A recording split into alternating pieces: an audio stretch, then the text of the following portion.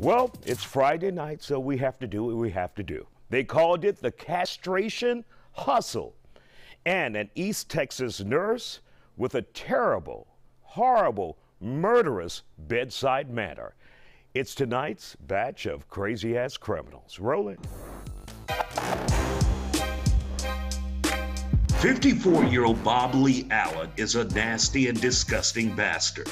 Investigators say this creepy cretin set up shop in a cabin in the woods in Oklahoma with his husband and ran a side hustle. That hustle is enough to make your skin crawl. It wasn't something respectable like a marijuana grow house or a high end meth lab, but Batty Bob performed illegal castrations. He called himself the eunuch maker. Investigators finally caught up with Bob when he chopped off a man's piece, and the poor victim nearly bled to death. Bob told the victim once he completed the surgery, he had plans to eat the remains. Lord Father in heaven, Bob was sentenced this week to 10 years in prison.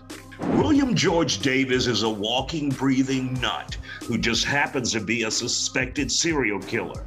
And you know what they say if you want to be a killer, get a job at a hospital. The East Texas nurse is on trial as we speak for allegedly killing at least four of his own damn patients. Prosecutors say this nurse from hell injected air into the patient's arteries from June 2017 to January 2018. Of the seven victims who came into contact with Wild Will, four died. All of the victims were recovering from heart surgery.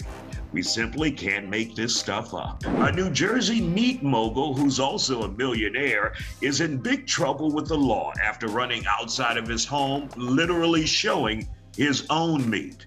Okay, I'm sorry, I, I just couldn't come up with another word. Evan Wexler says he ran outside of his mansion nude in New Jersey because car thieves were targeting his luxury vehicles for the 18th time. When Wexler fired his AR 15, his wife later called the cops. No one was hit. But instead of the cops solely focusing on the thieves who tried to steal Wexy's Mercedes, they went after the millionaire too. They said he was in possession of an illegal, fully loaded weapon. Damn if you do, damn if you don't in Jersey.